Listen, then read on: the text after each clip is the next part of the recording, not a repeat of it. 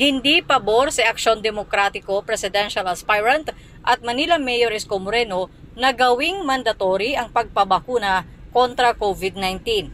Sa pagbisita ni Moreno sa kanyang mga taga-suporta sa Mambalaka at Pampanga, sinabi nito na naging matagumpay naman ang tatlong araw na vaccination day na bayanihan bakunahan.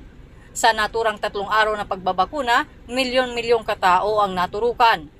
Sinabi pa ni Moreno na naging voluntaryo rin naman ang pagpapabakuna ng publiko.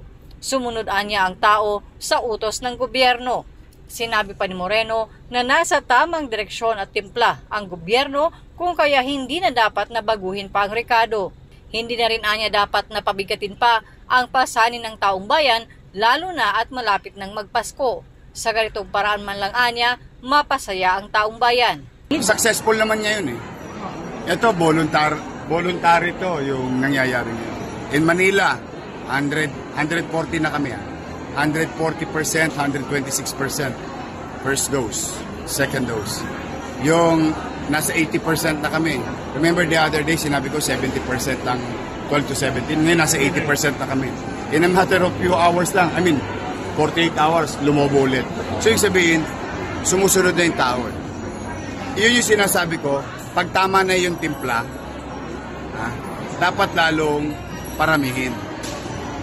Huwag nang baguhin yung rekado. Pag tama yung direksyon, palawakin na.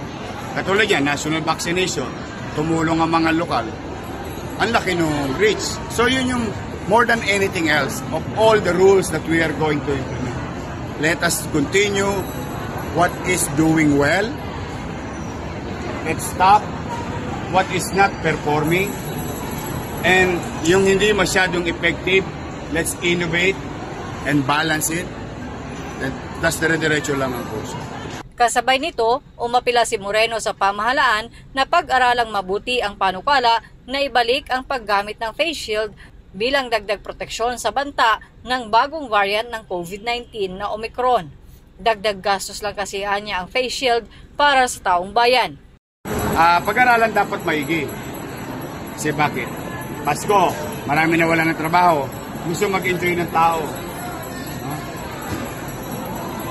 Eh yung mag- madagdagan pa yung gastos nila, it has to be justified.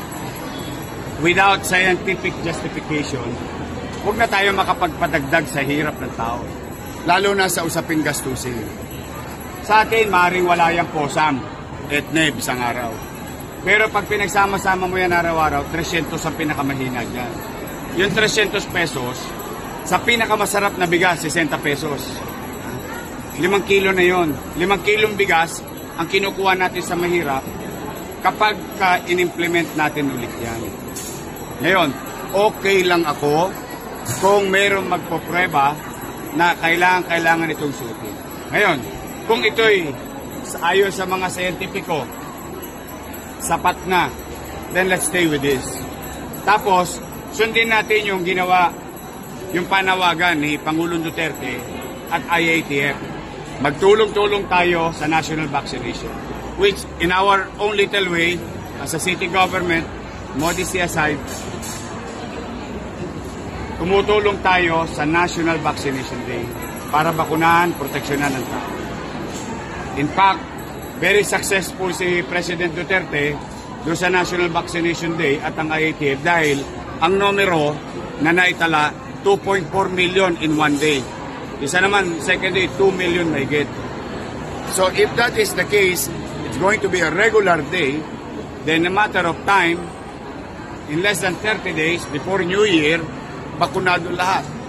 Now, we will we, will we continue to help? Yes, we will.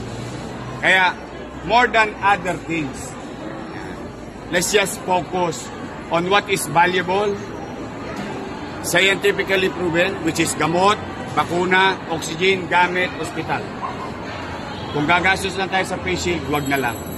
Kung pagagastosin lang natin ng tao ng walang kapararakan, wag na lang. Pag-aralan natin maigi. Nasa 10 piso ang ah, halaga ng face shield.